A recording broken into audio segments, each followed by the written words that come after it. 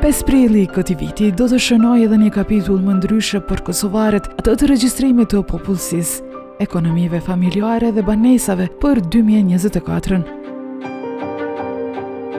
Regjistrimi i popullsisë në Kosovë ishte bërë për herë të parë pas 30 vitesh në 2011-ën.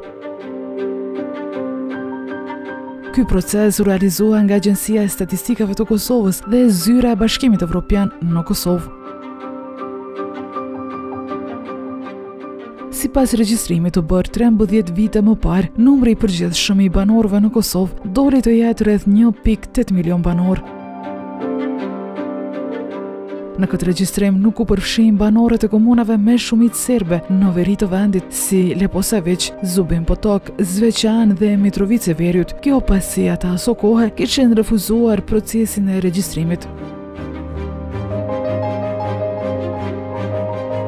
Sipas rezultateve të 2011-ës, 92.93% e popullsisë janë shqiptarë, ndërsa pjesa tjetër i takon komuniteteve që jetojnë në vend.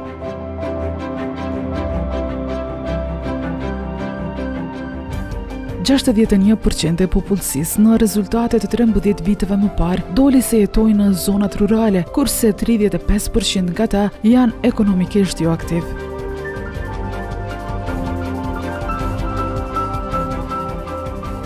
Procesi i regjistrimit të popullsisë ekonomive familjare dhe banesave kishte filluar me një prill të atij viti, e që në disa komuna kishte zgjatur më shumë se 15 ditë.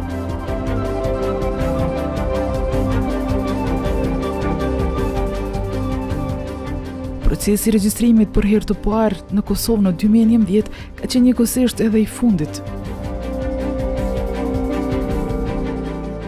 Ky ishte dashur të bëhej në 2021-ën, por si ishte shtyrë për shkak të situatës me pandeminë COVID-19, ndërkaq regjistrimi aktual nga 5 prilli do të zgjasë deri me 17 maj të këtij viti.